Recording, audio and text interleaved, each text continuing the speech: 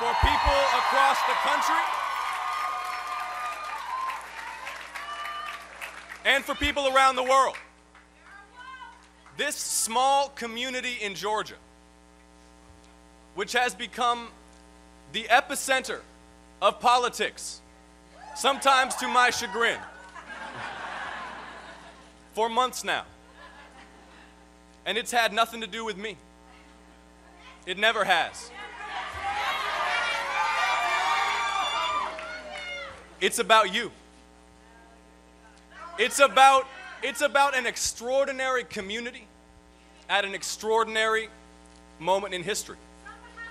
The first opportunity in this country to make a statement about values that can still unite people.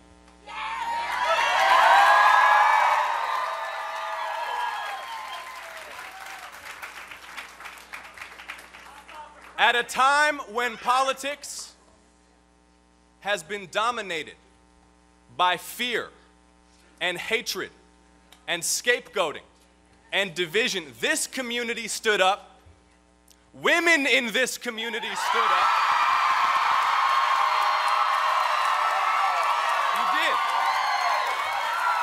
You did.